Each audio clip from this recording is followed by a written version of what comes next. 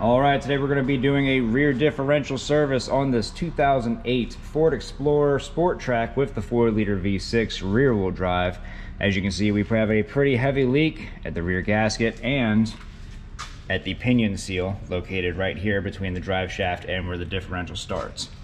So we're gonna go ahead and replace both of those, go over the cleaning procedure, cleaning out the actual inside of the differential while it's open, and uh, reseal everything up and refill with fresh fluid.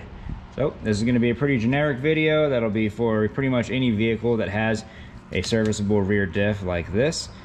But enough talk, let's get to it. All right, go ahead and start working on this uh, pinion seal. We got my breaker bar stuffed into the U-joint and underneath the leaf spring on the passenger side we're gonna need to get something that got the uh, multiple teeth on there, the 12 point teeth. So I usually just use a gear wrench. Let's see if I can't break them loose.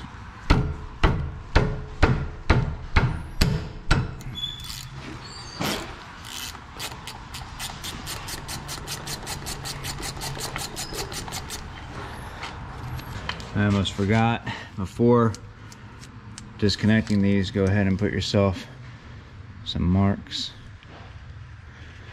so that it can be lined back up again. A lot of debate on whether this matters or not having this lined up. I don't care.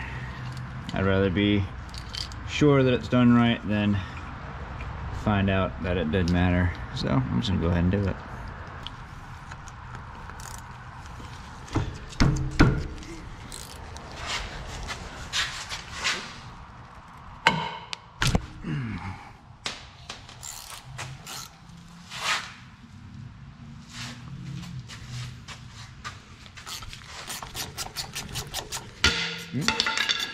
There goes my pry bar.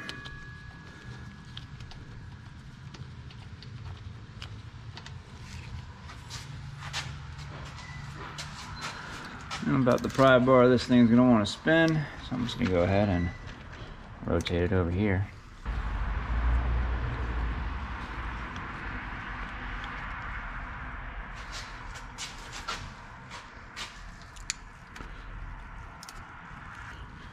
All right, getting tired of so I'm gonna go ahead and get myself another wrench so I can double wrench this for more leverage.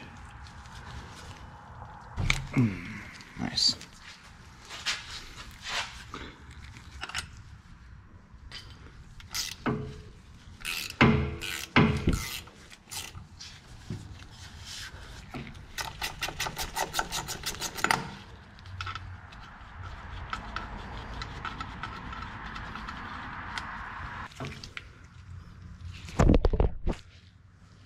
And last bolt.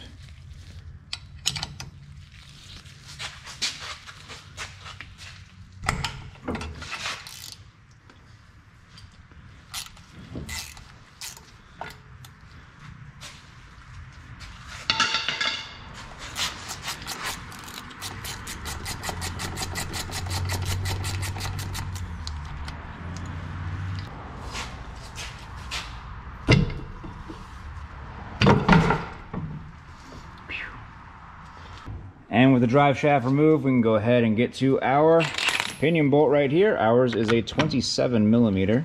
Go ahead and remove that nut. And sometimes you can get lucky and that'll pop right out, but don't likely that's gonna happen. So I'm gonna go ahead and put this nut on just a couple of spins. We'll get that pry bar again. There we go. If you have a stubborn one of these, they do make pulley systems for them, but I don't see the point. You can just do stuff like that. All right, go ahead and get ourselves a tiny flathead screwdriver and start digging right where that seal meets the differential metal. Just give it some light taps.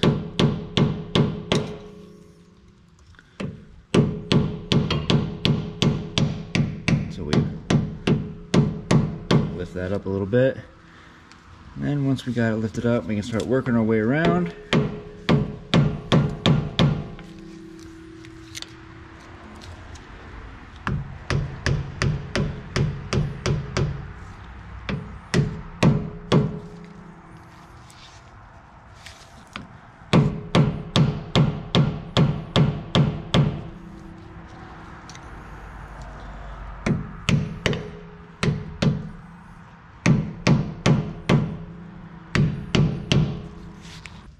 And after we have a big enough opening, go ahead and switch over to my tiny pry bar.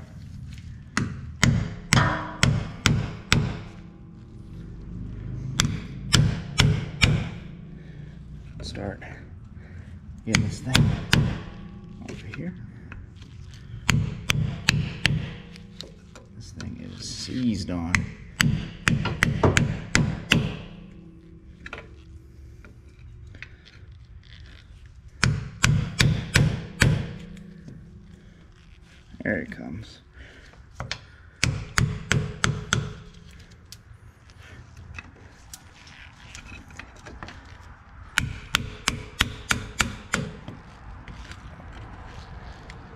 There we go. And make sure you got yourself a catch can.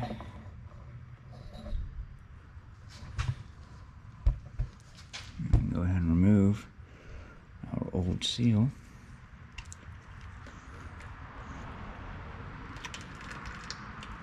There we go.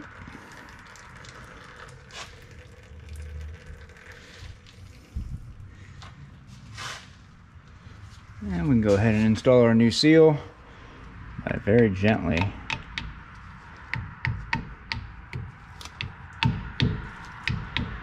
walking our way around with the hammer.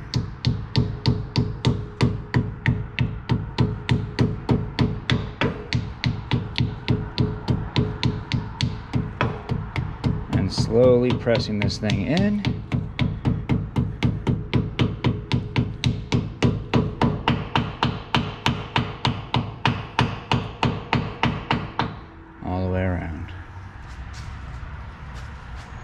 Go ahead and reinstall.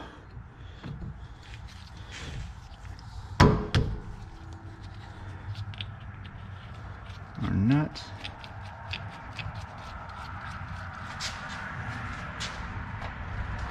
And put this down nice and tight.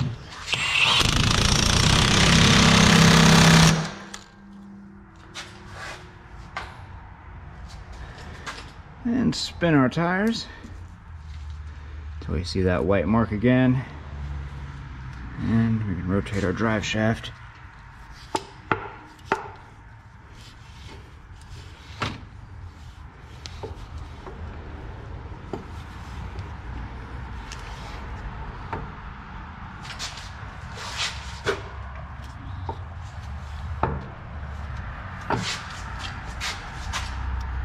we have our white marks lined back up again.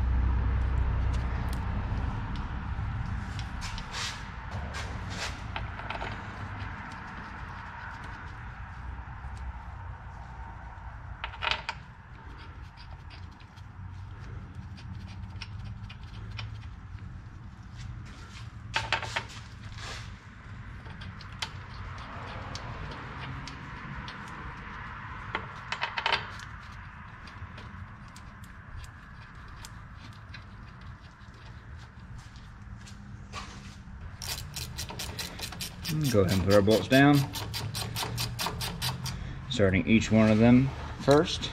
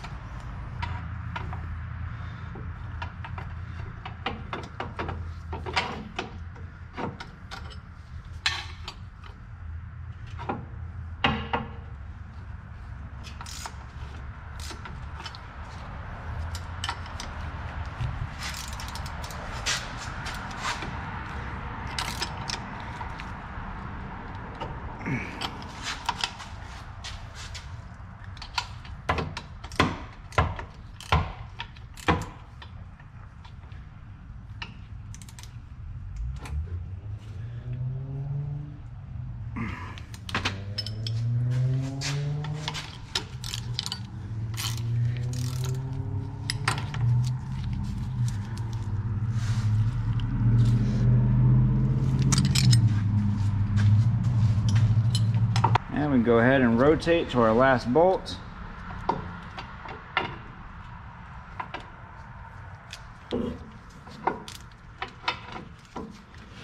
Stick our pry bar in.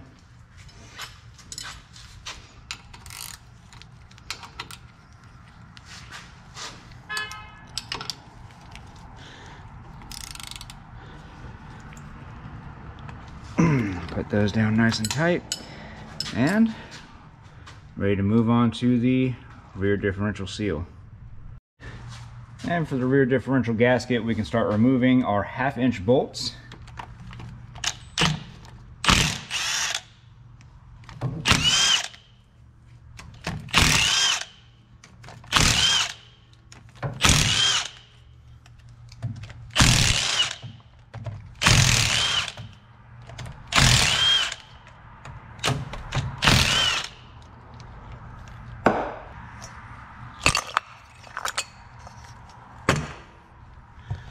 And for our last bolt, I'm going to unscrew it just a couple of turns.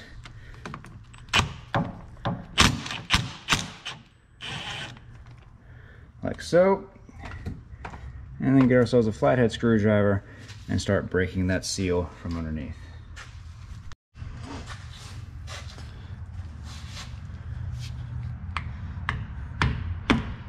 As you can see, this one's very, very worn out, and that's all it took to break it. I can just put my flathead screwdriver in here and crack this open the rest of the way, leaving that one bolt in.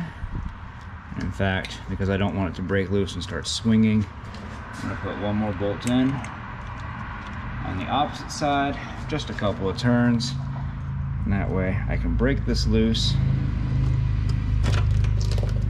And there we go. Not a bad color, definitely worn out.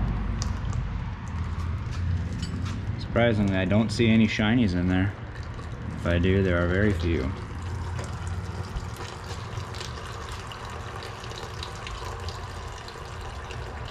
Let that finish draining out and we'll be back.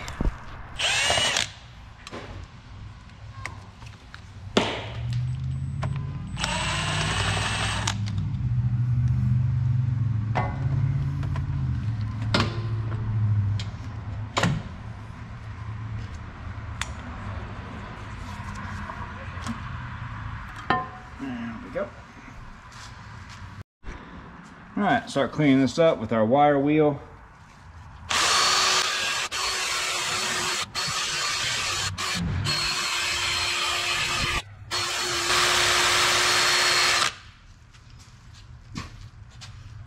Come back in here with some brake clean.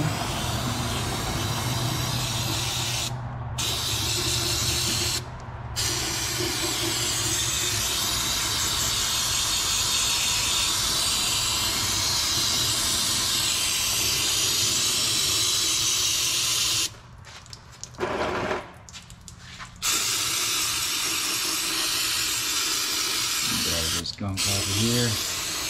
Might need to use an entire can or two. Don't be stingy. Use as much as you need to clean out this differential. Some spots you're probably gonna need to put your hand in there. Bet you some of that RTV came off while I was working around the gasket seal.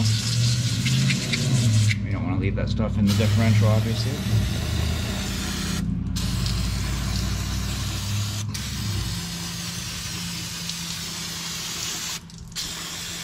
And once you get one side looking nice and clean, go ahead and spin your tires.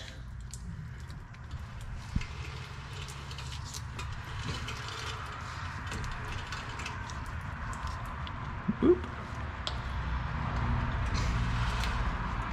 And work on the other side.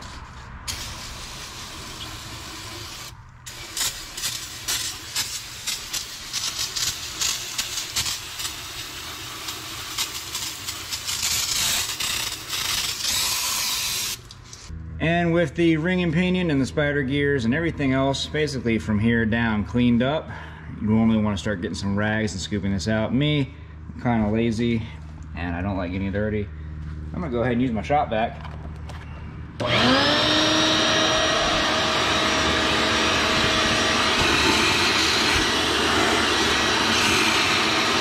down into this little groove right down here.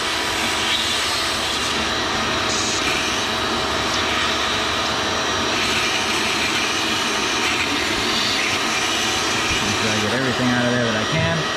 And come in here some more brake clean.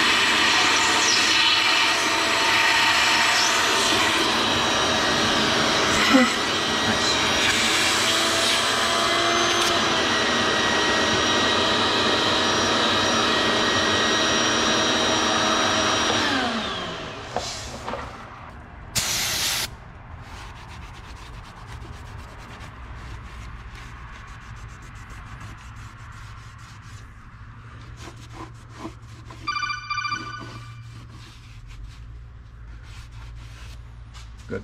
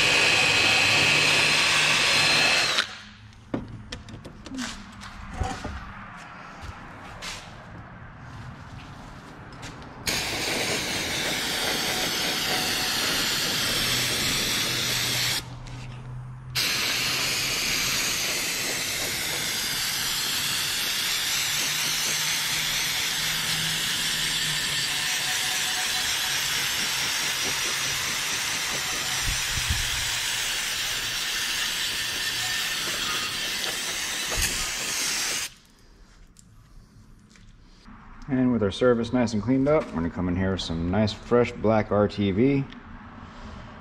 Put a nice bead.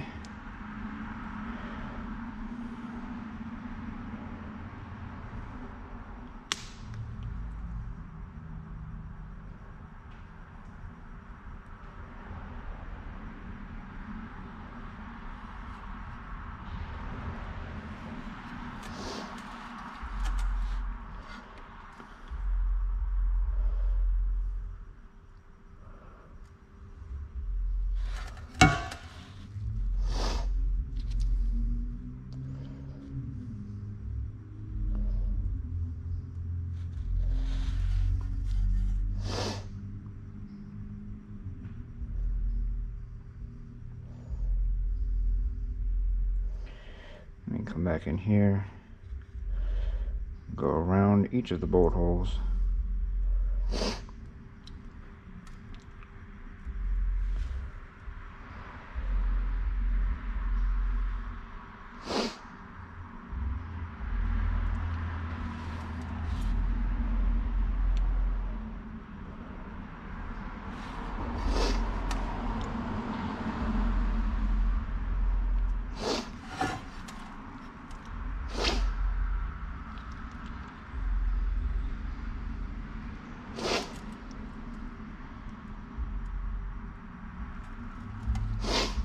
Go ahead and reinstall. Make sure you don't let this sit for very long before reinstalling. This needs to go on there pretty quickly before this RTV starts to harden. You definitely don't want that to happen. Let's go ahead and put our cover back into place.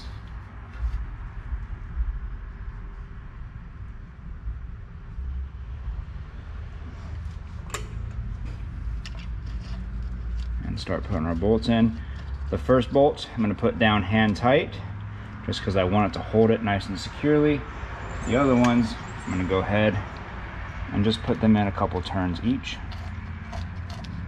But no matter what, make sure you have all of your bolts in at least by hand a couple of threads before you start bolting anything down.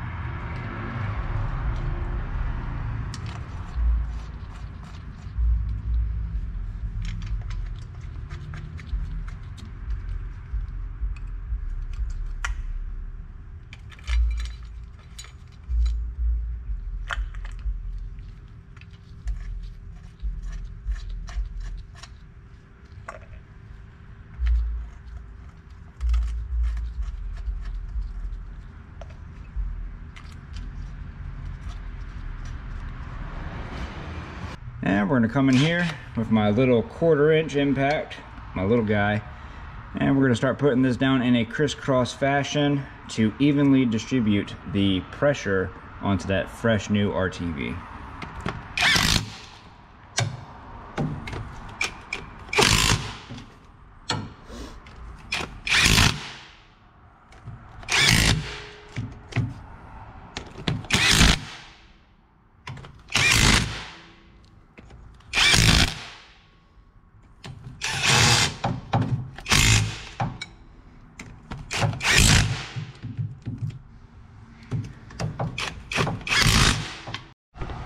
And the only thing you have left to do after this is to refill your differential.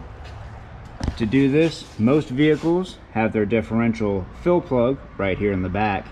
And for most differentials, you would keep adding fluid until this started to spill out, but always check with your manufacturer or your part supplier to see how much fluid your differential is actually supposed to hold. For this vehicle, the 2008 Ford Explorer Sport Trac, and here we have our rear axle lubricant, 75W30 synthetic at 3.5 pints or roughly 2.1 quarts. And there you have it. If you're at this spot, congratulations, you just serviced your rear differential. If you'd like to see more videos on this vehicle, go ahead and check out that video next. I made that one just for you. But other than that, if this video helped you out, leave a like. Don't forget to subscribe. We will see you all next time.